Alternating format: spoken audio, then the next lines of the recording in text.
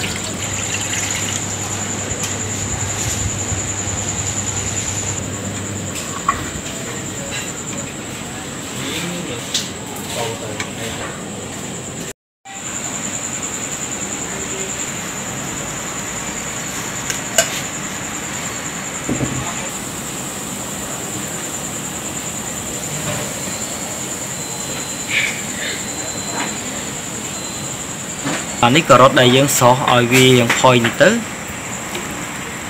ចុះម្ទេសផ្លោកហើយនឹងខ្ទឹមរាំងបន្ថែមបាទអញ្ចឹងបន្លែយើងសោះឲ្យទុនហើយលើឥឡូវយើងស្រង់ចេញទៅ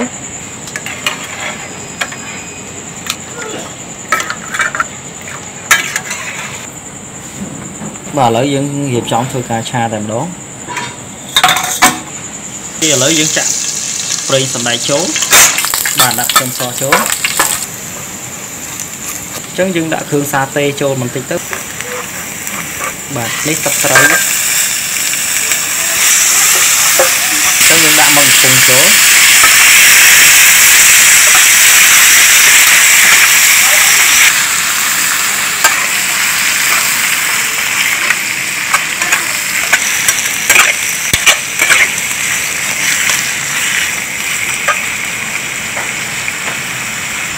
បាទស្ករស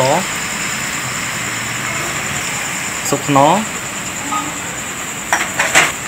ប្រេងខ្យង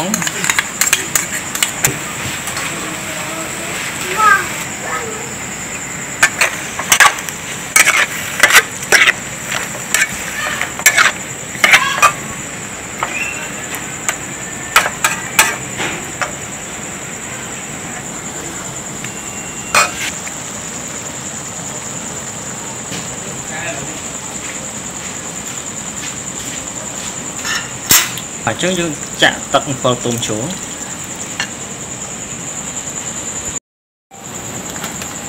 បាទអញ្ចឹងយើងដាក់បន្លែដែលយើងស្រោចចូលទៅ